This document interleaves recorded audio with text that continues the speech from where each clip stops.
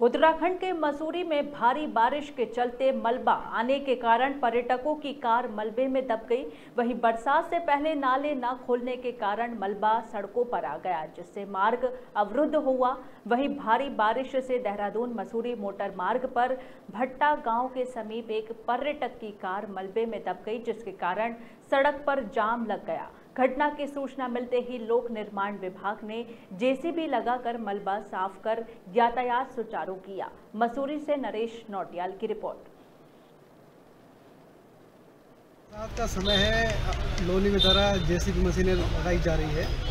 जहाँ पे भी सूचना आ रही है मलबाने की तो लोनी भी तुरंत जेसीबी भेजकर मलबा मलबा सफ़ाई कर रहा है।